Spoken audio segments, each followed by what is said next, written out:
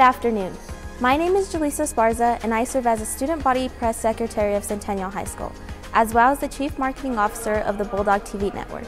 Today it is my distinct honor to invite each and every 8th grade student and parent in the city of Pueblo to our annual 8th grade enrollment night on Wednesday, February 22nd, 2023 from 6 to 8 p.m. You'll get a chance to meet our incredible faculty to learn more about our unrivaled academic programs, as well as our offerings in career and technical education, such as construction technology, business and marketing, the Health Academy, and of course, our brand new broadcasting and digital communications program.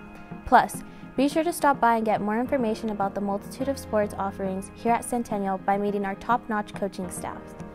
You'll also have the opportunity to learn more about our brand new, state of the art, 185,000 square foot school building, which I'm currently standing in right now.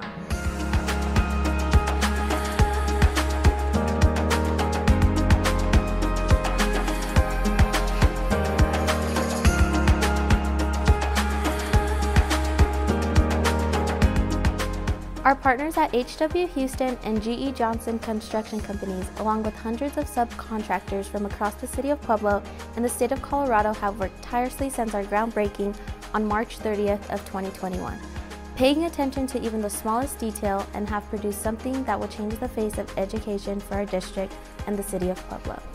We feel that it's very fitting for Centennial, the oldest school in the state, to be the one to do so, and we can't wait for the new school year to start.